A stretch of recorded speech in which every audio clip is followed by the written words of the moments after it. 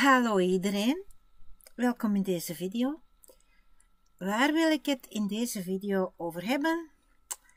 Over het woordje sorry. Sorry. Sorry is, ja, ook in het Engels, sorry. Wij zeggen ook sorry. In veel talen zeggen ze gewoon sorry in spreektaal. Maar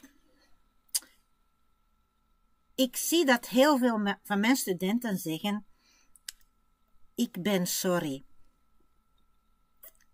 Ja, ik ben sorry. Ik ben Carina. Ik ben niet sorry. Sorry is geen naam. Ik ben niet sorry. Ik ben Carina. Ik ben iemand. Ik kan niet iets zijn. Sorry. Sorry, ik ben sorry. Dat is raar.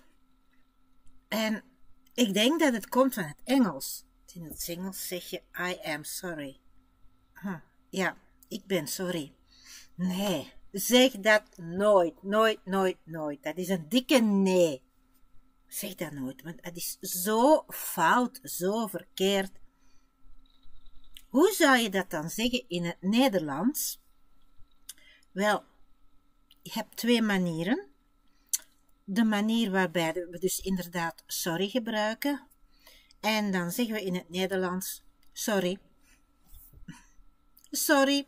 En dan kan je zeggen wat je wil of schrijven wat je wilt. Gewoon sorry. Maar niet ik ben sorry. Dat is, ja, echt, echt een dikke nee. Dus gewoon sorry. Wil je het een beetje formeler doen? Dan kan je zeggen het spijt me. Ja, het spijt me.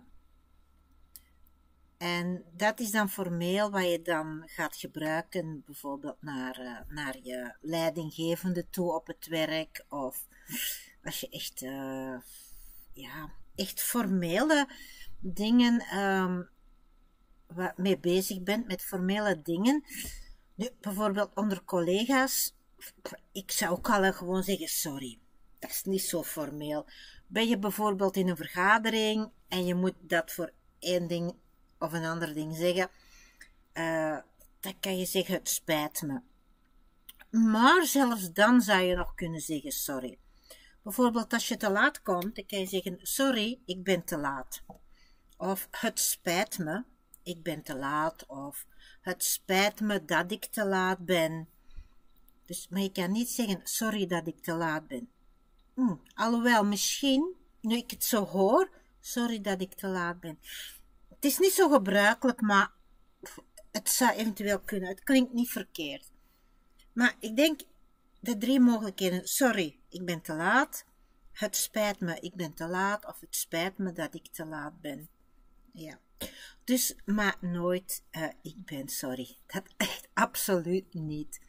Dus uh, als je echt het woordje sorry wil gebruiken in het Nederlands, dan zeg je gewoon sorry.